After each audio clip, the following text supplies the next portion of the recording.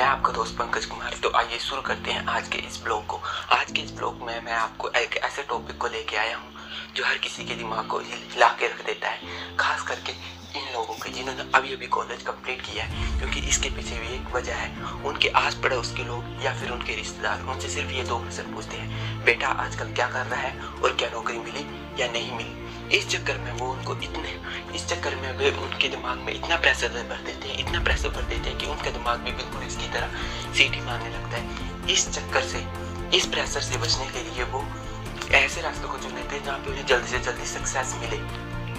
इस चक्कर में अगर किसी ने बिज़नेस करना हो तो वो बिज़नेस बिल्कुल नहीं कर सकता क्योंकि बिज़नेस करने के लिए उसे छोटे से ग्रो छोटे से शुरू करना पड़ेगा। मान लीजिए कि ने, किसी ने घड़ी का व्यापार शुरू किया है तो वो वो पहले छोटी सी दुकान से शुरू करेगा। एकदम से वो बड़ी फैक्ट्री तो बना ही नहीं देगा।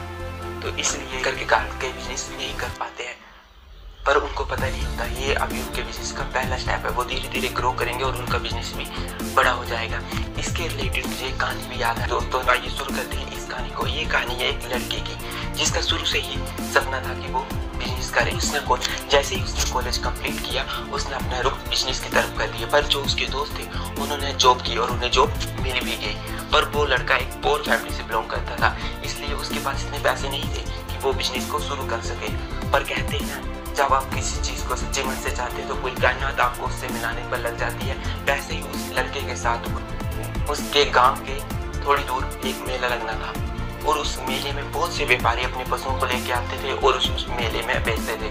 पर उसमें चारे का मूल्य बहुत अधिक होता था। तो उस लड़के ने सोचा क्यों ना मैं जंगल से घास काट के ले जाऊँ और उन व्यापारी को कम मूल्य में तो उसने वैसा ही किया। उसने अपने चाचा से एक बैलगाड़ी उधार मांगी और वो जंगल से घास लेके आ जाता और उन व्यापारियों को देता और खुद उनके पशुओं को चारा डालता। इससे खुश होकर व्यापारी उसको कुछ ज़्यादा धन देते और धीरे धीरे वो इस कार्य को करने लग पड़ा।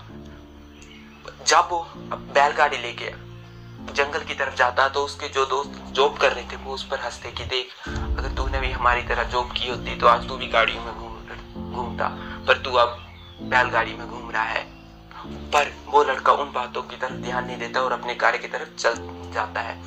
एक दिन वो सोचता है, वो चलते चलते सोचता है कि ये मेरा व्यापार नहीं है, ये मेरा व्यवसाय नहीं है। उसको वो चलते चलते देखता है कि उसे एक मुर्गी का दुकान दिखाई देती है और उसे ध्यान आता है कि उसके गाँव के नज़दीक या उसके गाँव के अंदर कोई भी मुर्गी का व्यापार नहीं करता है और इस कारण उसके गाँव में मुर्गियों और अंडों का बहुत ज़्यादा मांग है। तो उसने सोचा कि क्यों ना मैं इस व्यापार को अपने गाँव में शुरू करूँ। तो उसने वैसे ही किया। उसने उस दुकान से दो अच्छी मुर्गियाँ लेके घर गया और उनको घर में और उनकी देखभाल घर में करने लगा।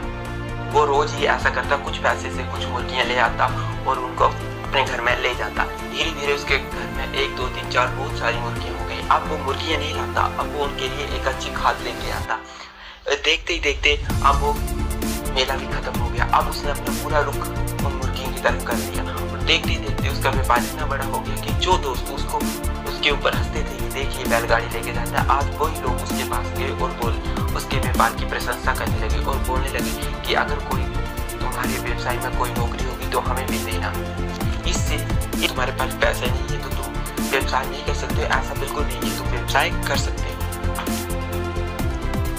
अब हम शुरू करते हैं। सबसे पहले जॉब के प्लस पॉइंट और माइनस पॉइंट तो सबसे पहले हम जॉब के प्लस पॉइंट की तरफ़ चलते जॉब के प्लस पॉइंट है सिक्योर एंड गाइडलाइन सबसे पहले हम सिक्योर की तरफ़ चलते हैं। इसके ऊपर आपको किसी तरह का खतरा नहीं होता। है मतलब अगर आपकी कंपनी में कोई भी घाटा होता है या फिर कोई और नुकसान होता है तो इसका आपके ऊपर कोई भी हर्जाना नहीं पड़ेगा। आपके ऊपर इसका कोई फ़र्क नहीं पड़ेगा। आपको जो इनकम मिलेगी, वो मिलती रहेगी। वो जो घाटा होगा वो उस बिज़नेस के मालिक की तरफ़ होगा। और दूसरी है गाइडलाइन अगर आपको कोई काम नहीं आ रहा है तो आपके ऊपर भी एक बोझ होता है तो आप उससे पूछ सकते हैं और आसानी से उस काम को कर सकते हैं। आइए जब हम शुरू करते हैं जॉब के माइनस पॉइंट को। पहला है टर्म एंड कंडीशन और दूसरा है इक्वल प्रॉफिट सबसे पहले हम बात करते हैं टर्म एंड कंडीशन की।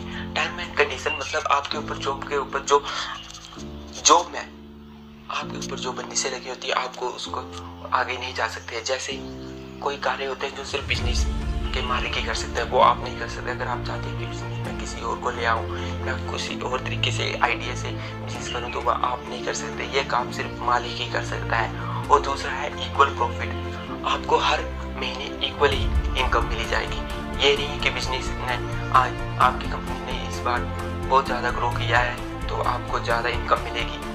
ऐसा नहीं होता है। ये सब मालिक के अधिकार में होता है। तो ये है जॉब के माइनस पॉइंट आप शुरू करते हैं बिज़नेस के प्लस पॉइंट की तरफ़। पहला है नॉट रेंज ऑफ़ प्रॉफिट और दूसरा है नो टर्म एंड कंडीशन सबसे पहला है नॉट रेंज ऑफ़ प्रॉफिट आपके आपके प्रॉफिट का कोई भी रेंज नहीं मतलब अगर आपको इस साल इतना लाभ हुआ है तो अगले साल इतना लाभ होगा। आ, आपको इसकी बात फिफ्टी परसेंट प्रॉफिट हुआ है तो अगले अगले साल आपको नाइन्टी परसेंट भी हो सकता है या फिर उससे कम भी हो सकता है। ये सब आपके ऊपर है। अब हम चलते हैं इसके दूसरे प्लस पॉइंट की term no term and condition आपके ऊपर कोई बंदी सही नहीं होती। आप जिसको चाहे बिज़नेस ला सकते हैं और जिसको चाहे बिज़नेस से हटा सकते हैं। आप इसमें कोई भी अपने आइडिया लगा सकते हैं और किसी भी आइडिया को हटा सकते हैं। ये सब आपके ऊपर है ये बिज़नेस आपके ऊपर है।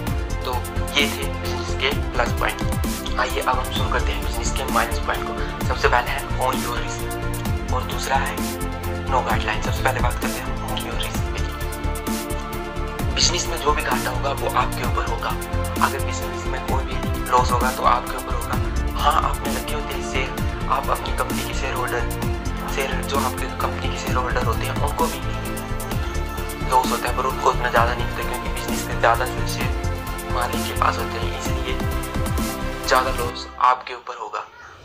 वो दूसरा है नो गाइडलाइन कई काम ऐसे होते हैं, जिनको सिर्फ़ मालिक ही करता है। कई ऐसे फैसले होते हैं जो सिर्फ़ मालिक ही ले सकता है? जैसे किसी में किस बिज़नेस में कोई आइडिया लगाना है, कोई आइडिया निकालना है, अगर उस आइडिया के कारण आपका बिज़नेस ग्रो करता है या लॉस में जाता है तो वो रिस्क आपके ऊपर होगा।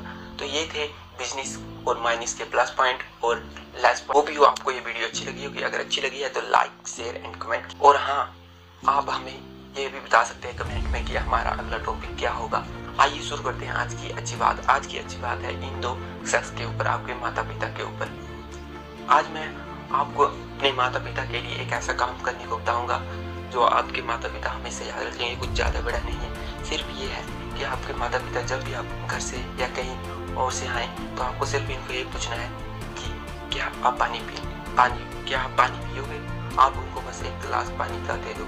ये काम आप, इस काम को याद रखेंगे और आपको हमेशा गुड ब्लेसिंग देते रहेंगे। तो होप यू आपको आज का टॉपिक अच्छा लगा अगर अच्छा लगा है तो लाइक कीजिए शेयर कीजिए कमेंट कीजिए। Thank you have next day